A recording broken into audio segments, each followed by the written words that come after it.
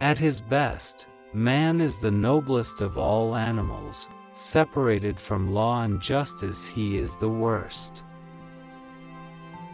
Criticism is something we can avoid easily by saying nothing, doing nothing, and being nothing. Courage is the first of human qualities because it is the quality which guarantees the others. For what is the best choice, for each individual is the highest it is possible for him to achieve. I count him braver, who overcomes his desires than him, who conquers his enemies, for the hardest victory is over self. I have gained this by philosophy that I do without being commanded what others do only from fear of the law. It is easy to perform a good action, but not easy to acquire a settled habit of performing such actions. It is possible to fail in many ways, while to succeed is possible only in one way.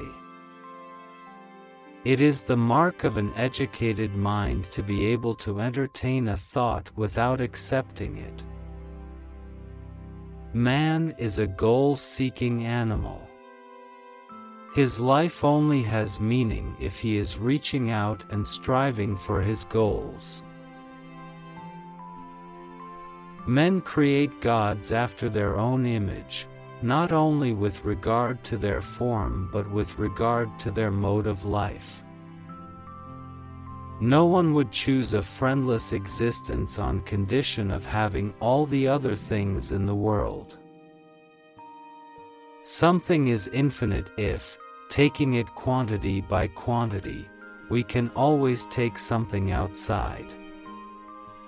The difference between a learned man and an ignorant one is the same as that between a living man and a corpse. The happy life is regarded as a life in conformity with virtue.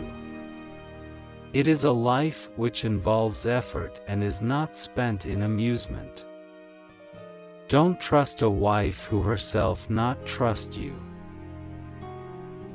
The ideal man bears the accidents of life with dignity and grace, making the best of circumstances.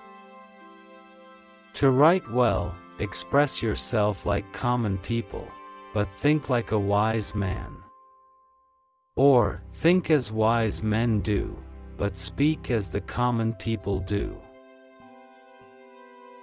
You will never do anything in the world without courage.